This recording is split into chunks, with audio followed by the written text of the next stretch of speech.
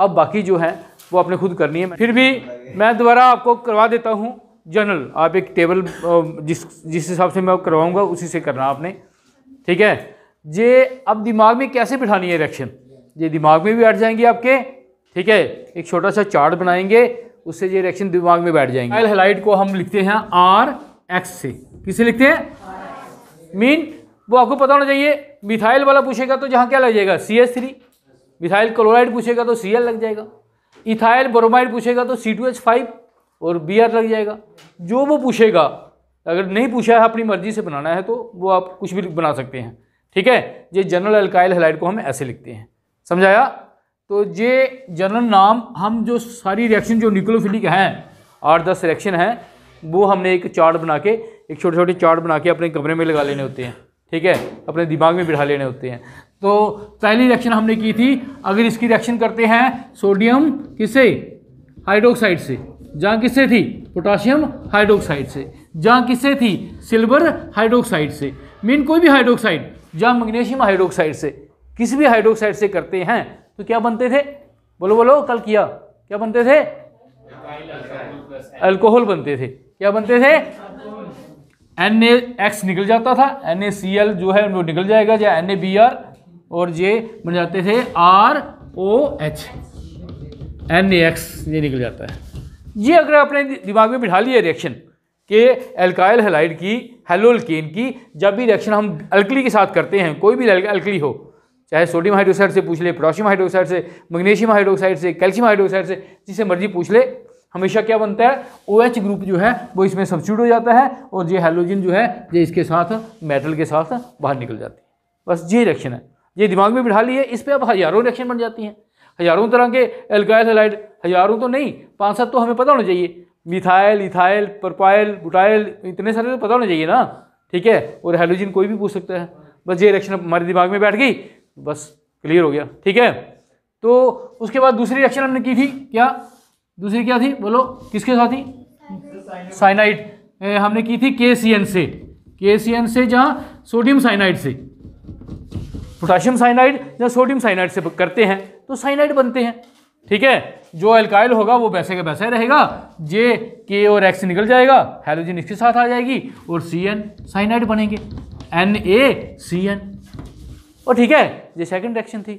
और तीसरी रिएक्शन हमने की थी कि अगर इसके बजाय इसके बजाय अगर हम सिल्वर साइनाइड डालते हैं सिल्वर साइनाइड तो सिल्वर साइनाइड एक केमल कोवलेंट कंपाउंड है। कोवलेंट कंपाउंड होने के कारण ये बॉन्ड एंड नाइट्रोजन से बनती है, फिर पहले बॉन्ड बनती है, फिर ब्रेक होती है। और जे साइनाइड के बजाय क्या बनता है? आइसोसाइनाइड बनते हैं और ए जी एक्स निकल जाएगा। बस इस तरीके से रिएक्शन को दिमाग में बिठा लो। कोई भी एल्काइल से पूछ ले, ठीक है? कोई जहाँ पीछे कुछ भी पूछ सकता है। मिथाइल आयोडाइड के करके बताओ इथाइल बोरोमाइड के करके बताओ, वो आपको लिखने आने चाहिए। चार पाँच तो हैं। मैंने कल ही बताया था मिथाइल इथाइल प्रोपाइल बुटाइल ये बनाना सीख लो, ठीक है? रिएक्शन इसी ट्रेंड से चलेगी। ये एक आसान तरीका है। आगे हमने की थी अमोनिया से। किससे की थी? एमोनिया से। अमोनिया से की थी तो लंबी रिएक्शन हो गई थी। अमोनिया से पहले बने थे एमाइन क्या बने थे? एन पहले प्राइमरी एमाइन बने थे। प्राइमरी एमाइन बने।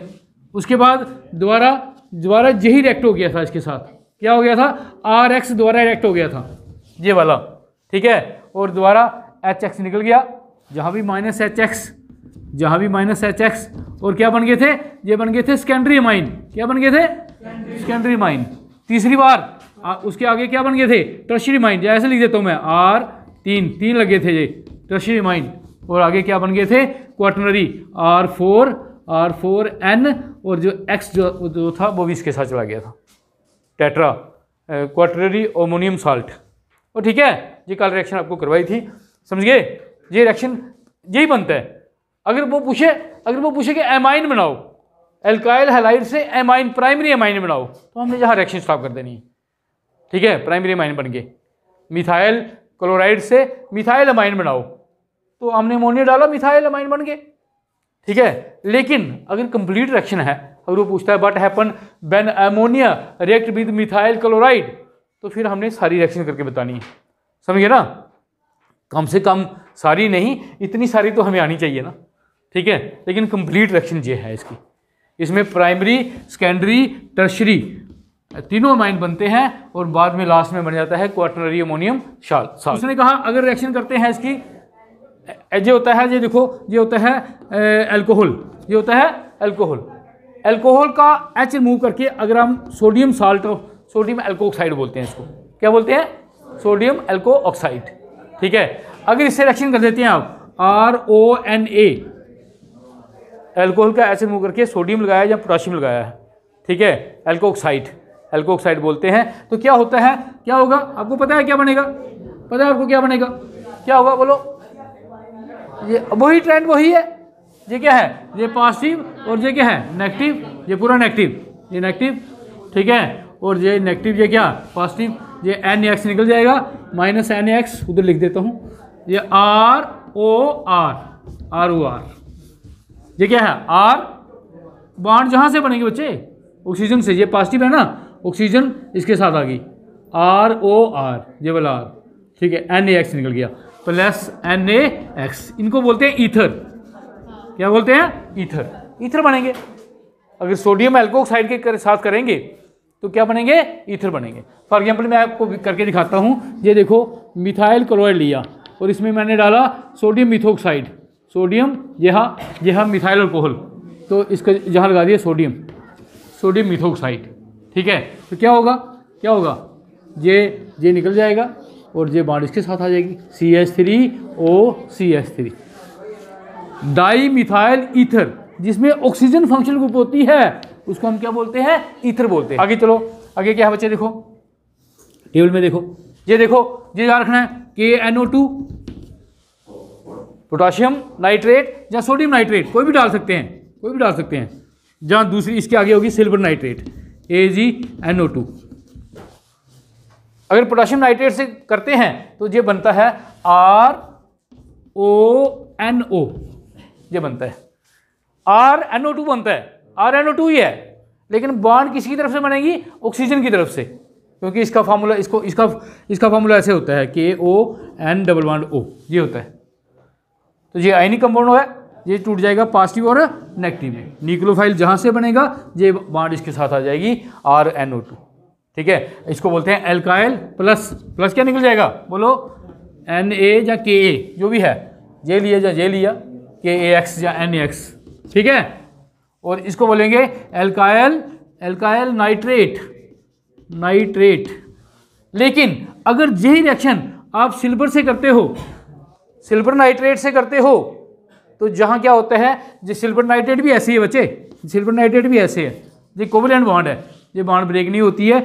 नाइट्रोजन भी क्या होता है लोन पेयर होता है बॉन्ड जहाँ से बन जाती है और ये बन जाते हैं आर एन ओ टू बन जाते हैं। ठीक है नाइट्रो अल्केन इनको इनका नाम होता है नाइट्रो नाइट्रो अल्केन। और समझाया? Plus A G X same trend है, जैसे रिएक्शन आपको करवाई है, वही ट्रेंड से है।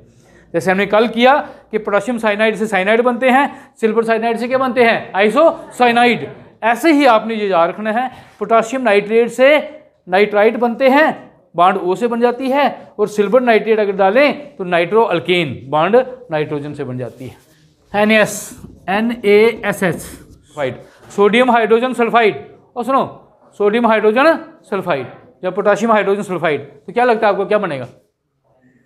सामने है यार, क्या बनेगा? बोलो। एन ए एन एक्स निकल जाएगा। ये देखो, ये मिटा दो इसको। ये नहीं हम कर रहे।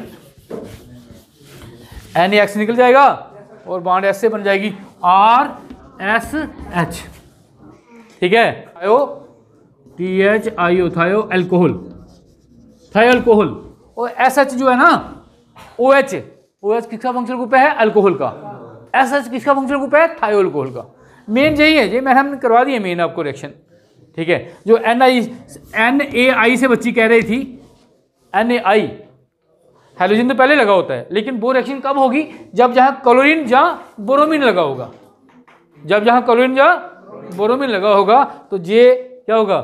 J N A C L को रिमूव कर देगा और जो स्ट्रॉन्गर न्यूक्लोफाइल है है ना? आई को जहाँ कर देगा। आर ए आई जिसको बोलते, क्या की थी? एक फिंगल स्ट्रीन रिएक्शन की थी। हाँ ये वही टाइप आ गई। ठीक है? और समझा गया halogen exchange halogen exchange reaction तो ये चार्ट अपने दिमाग में बिठा लो। बनाया सबने? बनाया? बनाओ इसको। ठीक है? ये है एक एक कार्बोक्सिलिक एसिड कार्बोक्सिलिक एसिड होता है आर सी ओ ओ एच ये होता है ना? और कार्बोक्सिलिक एसिड का फार्मूला पता आपको? ठीक है? कार्बोक्सिलिक एसिड से रिएक्शन नहीं होती। सिल्वर साल्ट इसका साल्ट ले लेते हैं सिल्वर साल्ट से। ए जी से करते हैं। ठीक है? तो आपको पता है ए जी एक्स निकल जाएगा। बाड ऑक्सीजन की तरफ़ बन, जाएगी ये बन जाएगा आर सी ओ ओ आर ये बन जाएगा। एस्टर बन जाएँगे ester E S T E R S esters ठीक है? ए जी एक्स निकल जाएगा जे जी बन जाएगी esters plus A G X ये कुछ रिएक्शन है न्यूक्लियोफिलिक सबसे रिएक्शन